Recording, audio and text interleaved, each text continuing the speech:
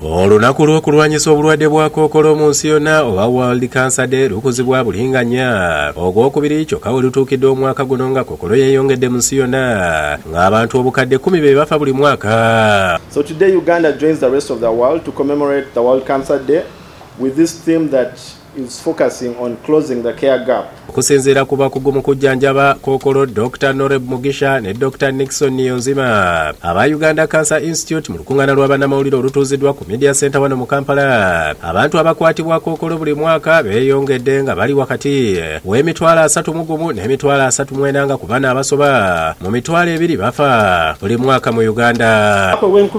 Mu abiri twafuna abalwadde emitwalo ena emitwalo ena mu munaana nga balina obulwadde bwa kookolo abaafa bali mitwalo ebiri lwenda kyenda mu babiri.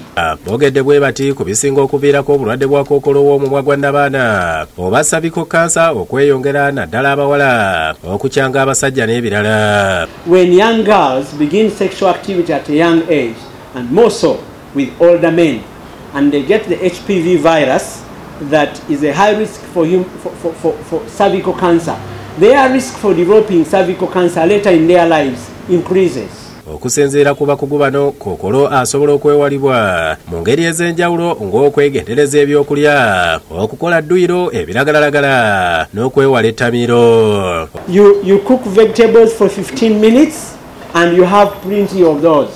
Because vegetables and fruits have what we call antioxidants that neutralize the poisons or the toxins that would otherwise cause body cells to become cancer cells. Kyankizo nnyo naddala mu baana ab'obuwala abato okutandikira ku myaka kkumi okugemebwa kookolo w'omumwa gwa nnabaana. Okukendeeza ku bulabe nga bakuze. Balambuludde ebimu ku bikyafudde obujjanjabi bwa kookolo okubeera obuzibu naddala mu bakyala. Ng'abasinga mu malwaliro batyayo nga bajja embeera emaze okusajjuka. One of the treatment modalities for breast cancer is actually mastectomy, where we take off the breast. And we have many issues with women who don't want to access care uh, because of the likelihood that their breasts will be removed. abanoonyi b'obubudamu mu ggwanga nabo bafuna obuzibu buno mu kujjanjabibwa kookolo kubanga enzijanjaba ya kookolo mu centers ze balimu teriiyo ate bwe tujanjaba abaana bo batera nnyo okuba n'omukisa oguwona okusinga abantu abakulu. Naye obulwadde bwa kookolo bujanjabwa ate buwona. Kyokka balambuludde ku nteekateeka eziteereddwawo gavumenti okuziba eddibu eririwo mu bujjanjabi bwa kookolo. That everybody needs to take to address the cancer challenge, the increasing burden of cancer in the country.